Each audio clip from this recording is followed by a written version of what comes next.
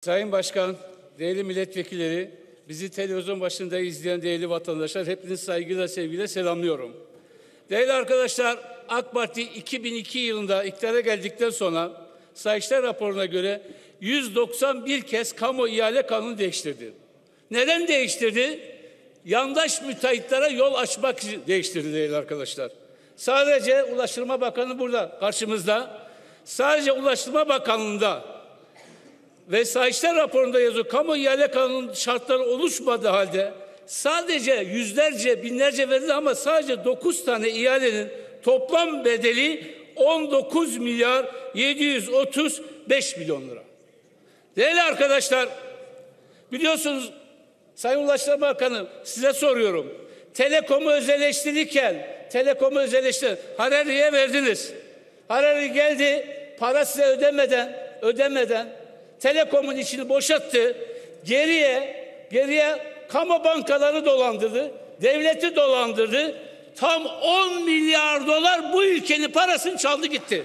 Ama şuraya bakın, şuraya bakın. Sayın Cumhurbaşkanı'na hırsız 10 milyar para dolandıran, Türkiye Cumhuriyeti Devleti dolandıran adamla sarayda beraber yemek yiyor değerli arkadaşlar.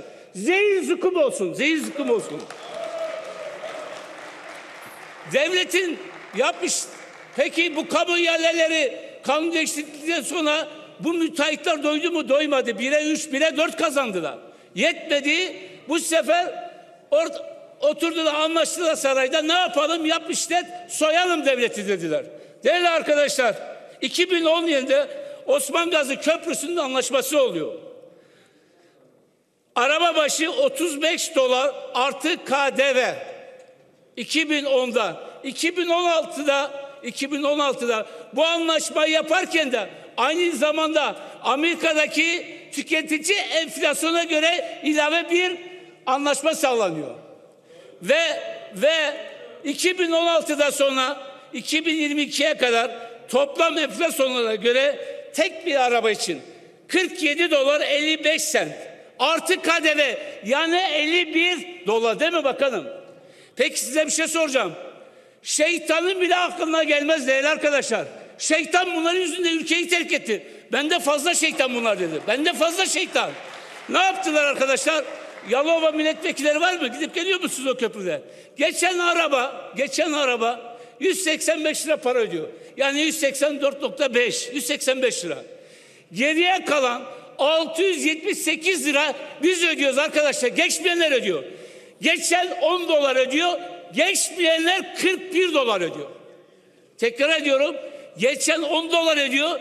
Geçmeyen 41 dolar ödüyor değerli arkadaşlar.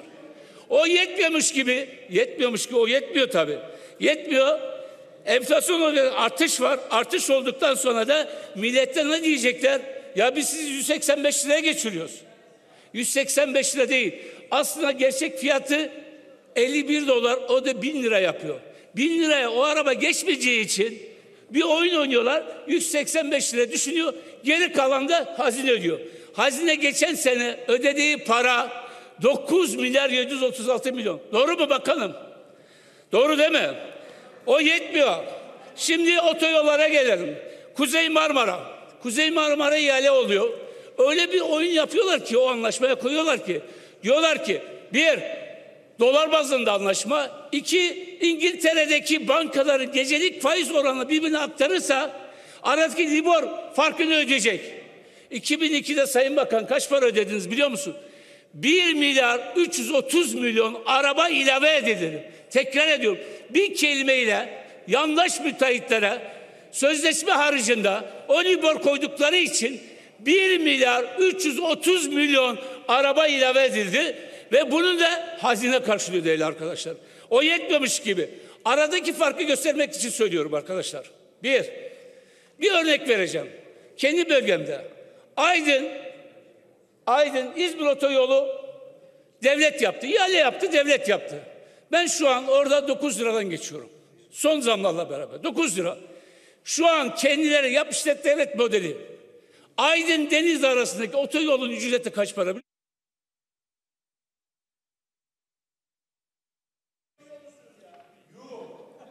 Sayın Bakan beş buçuk kilo 126 kilometre tünel yok.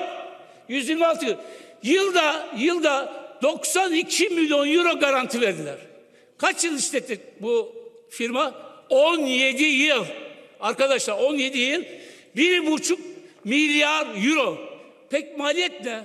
Müteahhitlik kere vermedi. Yani devlet ihale çıkarsak 250 milyon euro. Bire altı. İşte devleti, milleti böyle soyuyorsunuz değerli arkadaşlar. Ben buradan sesleniyorum 84 milyon insana. Eğer bu soyguna son vermek istiyorsanız, eğer bu bütün yolları, hastaneleri kamulaştırmak istiyorsanız adres belli. Adres ilk seçimde Cumhuriyet Halk Partisi'dir. Hepinizi sevgiyle, saygıyla selamlıyorum.